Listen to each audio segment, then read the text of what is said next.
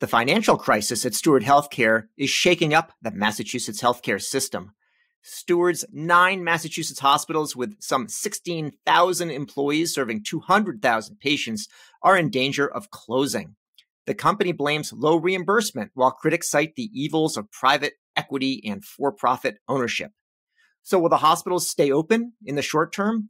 And will Massachusetts take the opportunity presented by this crisis to restructure its healthcare industry to improve access, lower costs, and align incentives?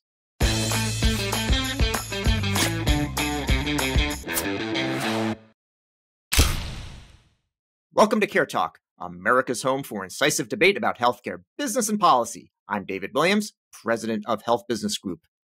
And I'm John Driscoll, the president of Walgreens Health. David, for back up a second and explain what the how the People's Republic of Massachusetts actually how it's organized around academic medical centers like the Harvard system uh, and exactly what Steward represents, so people have some context here because that that every people know Harvard and they know the Brigham and Mass General, all the big name Dana Farber university institutions, but probably people outside of Massachusetts haven't heard about Steward and and don't have any context. So can you just kind of paint a picture of the healthcare topography of the Massachusetts healthcare system?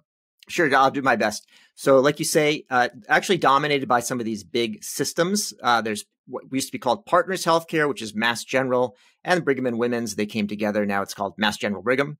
You've also got Beth Israel, which also part, has Lahey Clinic as well. So Beth Israel Lahey, those are the big guys. You also have Tufts. There's some other players, like you said, Dana Farber, Children's Hospital, etc. But then you got some community hospitals too in Massachusetts. And there was a hospital system uh, that was a Caritas Christi system, was actually owned by the Catholic Church. And in around uh, 2010, uh, they decided to sell that. Uh, they needed to raise some money and a group came in led by uh, Dr. Ralph de la Torre, who is a heart surgeon from Beth Israel, actually, and he partnered with a private equity firm called Cerberus Capital, and they acquired a bunch of hospitals from Caritas Christi and then some others. Now, these were not-for-profit hospitals, and they converted them to for-profit hospitals. They bought a couple more hospitals, uh, Morton Hospital and Quincy Medical Center, uh, in 2011. So that was, you know, 10 plus years ago. They came into the market, John. So stepping back, there really is a, a really interesting dynamic in the U.S. healthcare system where academic medical centers like a, a Tufts or the Harvard system, which includes a number of the institutions you mentioned, the ill-named partners where it doesn't seem like the doctors partner with the hospitals or the hospitals partner well with each other. In fact, I think in another CareTalk episode, we talked about how all these hospitals, academic medical centers in in Massachusetts really can't seem to get along. But there also is in America a community health healthcare system, local community hospitals that are nonprofits, and in some cases those that are run by religious institutions. You know, historically, a lot of religious institutions like the Catholic Caritas system, and there are other systems run by different religious groups around the country, were there to kind of be the hospitals of last resort, often anchored in poor communities where they didn't have access to the the the better care or certainly the academic care that exists. But in in the Massachusetts system, it's a particularly feast or famine system where the richly endowed and highly compensated academic medical centers, in in many ways, set a pretty high price to get care in the state. And there's a is these historically an oversupply of specialists and an undersupply of internal medicine general practitioners and this, I thought the whole steward system, it's it's sort of bizarre that it that it that in some ways that it was named steward, given how poorly it stewarded the healthcare and the economics of its own system. But it seemed like not a crazy idea that a community healthcare system based around primary care could potentially manage care better than the academic medical centers, which typically are focused more on research and specialist care, like heart surgery or complex new immunotherapies or or or or new new new interesting children's diseases at Boston Children's. I mean, what happened here? Because the theory that a community-based system, so lower cost because they don't have to subsidize all the academic costs, uh, more focused on ter- internal medicine. Gosh, it seemed like your buddy Ralph, your neighbor Ralph, would had a really pretty good idea what what happened and and how did it put the entire healthcare system in Massachusetts in crisis? John, it was a good idea, and they did they did some good things. And let's talk about it also from the perspective of the broader system. So, what happened with you know these famous hospitals? They're they're terrific, and in fact, I go there for care. And if somebody has a serious problem, they come from all over the country, all around the world to go there. But what had happened is uh, Mass General and, and the Brigham in particular uh, had been expanding out into the suburbs, and not just any old suburb, John, not the not the not the, not the suburbs of last resort, uh, you know, where Caritas Christi uh, was based, but in fact the richer suburbs. And uh, they would go and acquire community hospital, acquire physicians, and actually just by doing that and putting their name on it without changing anything else, actually raise the prices, and that's how it worked actually no. with. Yeah, no, you, you, I'm shocked that healthcare prices are going up, David. I mean, of course. So why why wouldn't you expect that? I mean, you are because, you, are you surprised? Because no, because what happened, John, is when they can't just raise the retail price, they can do that, but they actually automatically got higher reimbursement from the commercial insurer.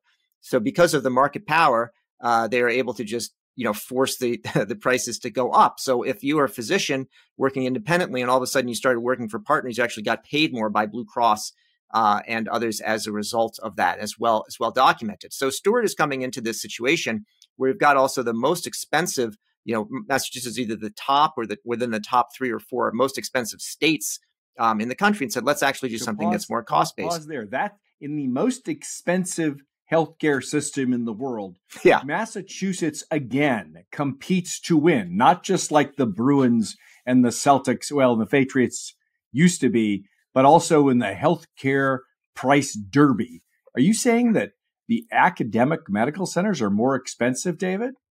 I'm saying, John, you know, the Patriots only won six Super Bowls, and the uh, and the Brigham and the General are, are doing better than that. They they tend to win every year. So uh, yeah, so they've got very high cost system, and you should be. We're trying to move toward you know value based care. So in that case, uh, what what they were trying to do, what Ralph was trying to do, was to say let's actually do value based care with Medicaid patients, and instead of just being paid a lower fee for service amount by taking care of patients, let's actually do something where we're managing overall cost of care. Now, the healthcare system didn't change that fast. Instead, what happened is that the managed care companies in Massachusetts, the insurance plans, it just gave them lower lower prices on a fee for service basis, and they they really couldn't couldn't get anywhere. Let me also point out one other thing about for profit before you go there, John, which is that you know so on the one hand there's this concern about the profit you know motive and private equity's role and so on but a difference between a for-profit hospital and a not-for-profit hospital is a for-profit hospital actually pays local uh, real estate taxes. So Steward is paying something like 15 or 20 million dollars a year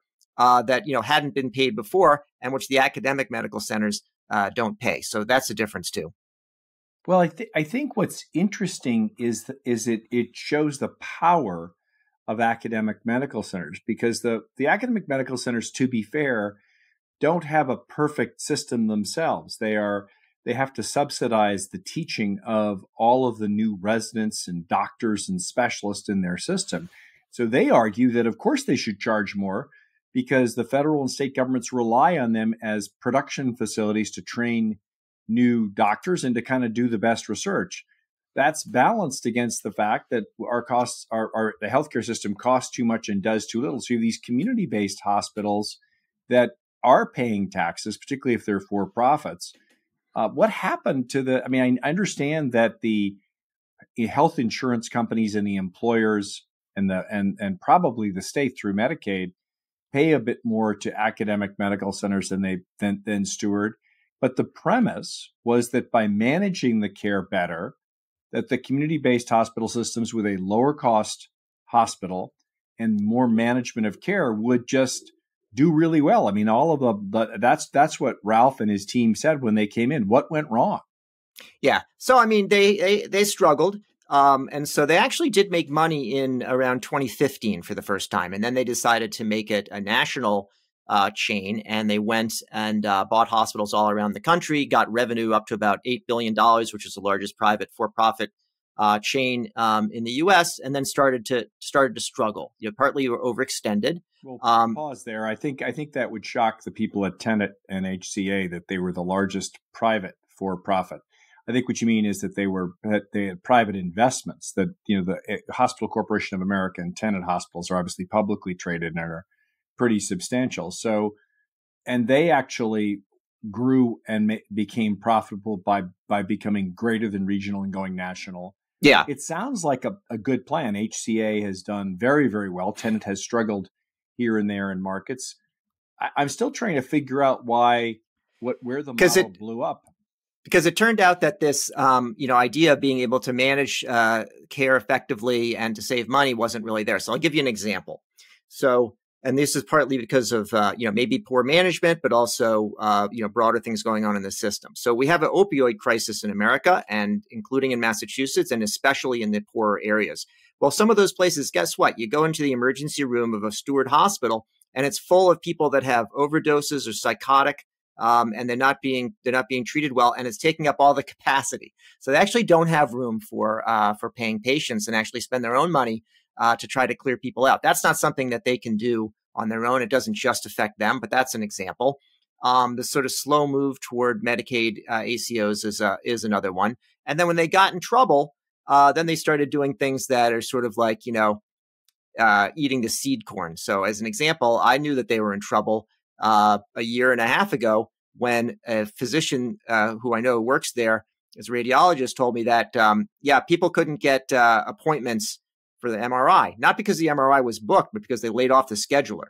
So as a result, you know, to save money in the short term, they laid off the scheduler. People aren't scheduled. Then there's no revenue from the MRI. Similarly, uh, not paying their bills to you know Medtronic or the medical device companies, and so then they can't get the uh, they can't get the surgical instruments or the devices for surgeries, and they can't make money from there. So that's that's why I got into a death spiral. Uh, but it was just uh, too much of a struggle, and their model wasn't uh, so great that it was going to overcome all the challenges in the healthcare system. Well, let's let's. I, I I still don't think I understand exactly why, other than poor management, they got into trouble. Did they actually manage the care for the individuals? that they were managing because theoretically managed care should keep people out of hospitals and away from specialists did they perform they didn't have um, they didn't have the opportunity to really manage people at the at the population level um, and so I think the you know the Medicaid ACOs that have come in have been sort of too little, too late uh, for their model to work, if it in fact would work. So I think they don't know that they had a fair test uh, to really make it work you know, they had some other challenges along the way. You know, they, they were dealing with uh, old, you know, old infrastructure. They had a flood at one of the hospitals that shut down the emergency room for a while. You know, they have challenges uh, like that. I mean, I don't know that it's been particularly well managed in the last few years. Model. Yeah. You actually were interested in it. Yes. There are for profit hospitals that are successful. There has to be a path to success for these community based hospitals. They've got a cost advantage honestly, it just sounds like it was colossally poorly managed. Well, first of all, not all the hospitals, you know, are some of them actually could be successful on a standalone basis. It's a, it's a few of the hospitals. Hospitals in general have struggled. You know, they all struggle with staffing. And don't forget that what's going to be happening where you've got uh, these big, well-paid systems. I mean, that's who sets the, you know, who who's setting the price for uh, for labor. It's based on, uh, you know, union negotiation and if you're getting paid more, like Mass General or Brigham, they they can actually pay more, and they do. And so Steward's affected by that happening as well. I think, John, that it's this is beyond. I mean, I don't think we should expect some you know private equity firm to come in and, and instead of guarding the gates of hell or whatever Cerberus does, uh, you know, from its namesake, is actually come and try to reform the whole. Not their business plan. It happens to be their mythical role. Okay, but it, so but it, it is a little odd that people would would invest yeah. in a company like Cerberus. I, I and and I, you know, I I uh, well, we're not going to get into some. Anyway, so so some so so uh, guarding the gates of odd, hell. It's an odd it's an odd name for a hospital yeah. system sponsor. So we can't expect them to come in and completely reform the system. I think they were hoping to ride a wave of what was happening. So let's look at where we are now. Because we've talked about it a lot, John, about care at home. You know, the hospital is sort of, if you're in the hospital, it's sort of in most cases a failure you know, prevention and primary care, you know, should have been able to keep you out of the hospital. So now there's this worry that all these hospitals are going to close. And I, I get that. Um, at the same time, I think maybe we need less hospital capacity. So shouldn't we be, uh, shouldn't the state be saying instead of like, how do we save the hospital or, or how do we, you know, instead of selling it to, let's say, one of these big systems, uh, I want to say, why don't we maybe close the hospital down in an orderly manner and redeploy uh, the uh, you know the expense out to primary care, urgent care, telehealth, other new sorts of approaches that we can uh, that we can take, and even on an outpatient basis, John, uh, outpatient care at a hospital is very expensive. So I think more community based and home based care is the way to go and improve the incentives so that I think you're surfing the next wave here. I think there are some things here that were el- that are elementally dangerous, and you're missing some of the string of the story. I mean, they made money in 2015. Um, they got into trouble, uh, I, I'm sure, during COVID when all hospitals were having a really hard time. Coming out of COVID, hospital balance sheets are really in trouble, and in some cases, hospitals are are, are, are only staying in business due to the margin from their their their their their pharmacies and their drug distribution or some specialist oncology thing. Like hospitals really are struggling yeah. coming out of COVID, and or their endow or their endowment, John. You know, or their endowment. Yeah, no, they're they're because they're subsidized and and and they've got a tax advantage. So that's the truth. But I think that the other practical matter is they the it sounded like the Steward balance sheet was upside down. They borrowed a ton of money. There's certain in the rush to sort of um, finance everything through private equity, particularly when rates were zero, a lot of a lot of bad business plans, plans that would never have would, that, that can't survive a normalized interest rate environment where they actually have to pay the interest on the debt or pay the debt down. I think that's that's where these these guys yeah. really manage the balance sheet, and and and I think that there's a reasonable argument that private equity are pirates uh, uh, here because you've got a you know you've got a CEO with a yacht.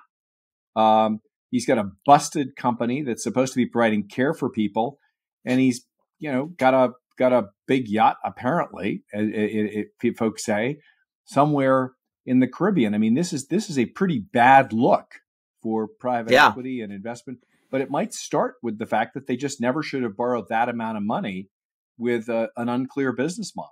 Well, John, the thing is, when they did this, it was starting in 2010, which is when the Affordable Care Act came in. And it was a reasonable bet at the time, right? We're moving toward value based care, this sort of fee for service system of these uh, overwrought, uh, you know, uh, hospitals has got to stop. Massachusetts was you know, all going to all sorts of lengths to try to do something about um, you know, had these big academic systems and the cost. So that wasn't a bad idea either. Nobody said, I don't think even at the time, and, and you know, by the name Cerberus, it's not a friendly name. Nobody ever said that, uh, you know, Ralph de la Torre was a friendly guy or that they liked him. But, you know, it's like with Perdue, right? They said you need a tough guy to make a tender chicken.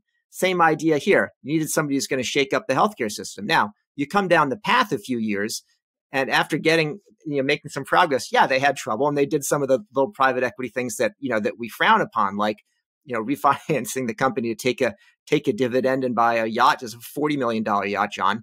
Um, and so sort of got themselves into uh, you know, into trouble. So you can point the finger at private equity, fair enough. However, it also should be pointed out, John, that there have been people that have also made, you know, $10 million uh, nonprofit uh, healthcare executives in Massachusetts had $10 million plus severance plans from their nonprofit uh, entity. So no way. Yeah. Stunning. Yeah. Well, so, I, I, so, so so let's try to draw this draw some conclusions here. All right. Private equity good or bad for hospitals? As a new source of financing under a new model, it was a reasonable shot, but in general, no. Private equity in hospitals I, not a good. It was probably a pretty good indicator that a three-headed dragon tailed dog named Cerberus was probably not the best protector right. of healthcare costs. Okay, how about how about community hospitals have a future, don't have a future? So in Massachusetts, they were sucking wind for a long time, and um, they did not have any future here. And they would have those hospitals would have shut. Those Caritas hospitals, they would already have been shut. Uh, so no, I don't think that they have a great future. Community hospitals, not really in Massachusetts. I, I, I think you're wrong there. I think we have we have to support and find a way to financially support and manage community-based hospitals. There, otherwise, we're going to be eh, the rest of the country is going to look like the Massachusetts system, dominated by academic medical centers and and crippled with, with cripplingly high costs. So, John, our former that's a, bad, that's a bad answer, dude. Our, our, our former governor Charlie Baker used to run Harvard Pilgrim Healthcare, and one year they put a community hospital on the cover of the annual report, and they talked about you know caring the community and all that. And then suddenly it was gone. And I asked him about it one time. What happened? And it's like, well, you know, they couldn't really make a go of it because it's that's nope.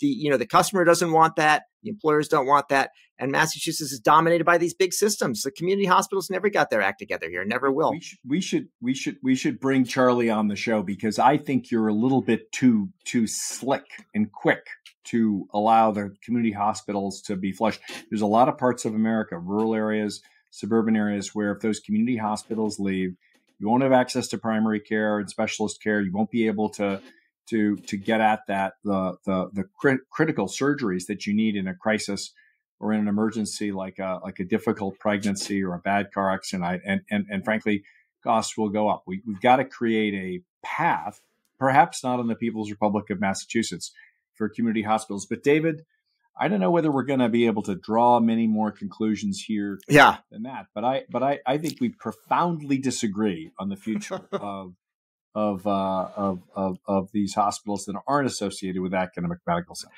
Well, John, it may be the most profundity we've had on the show here, so we're going to just tie it up right there and say that's it for yet another episode of CareTalk. We've been talking about steward healthcare system and the stewardship of Massachusetts. I'm David Williams. Or stewardship of Massachusetts. I'm David Williams, president of Health Business Group. And I'm John Driscoll, the president of Walgreens Health. If you like what you heard or you didn't, please subscribe on your favorite service, and we'd love a review.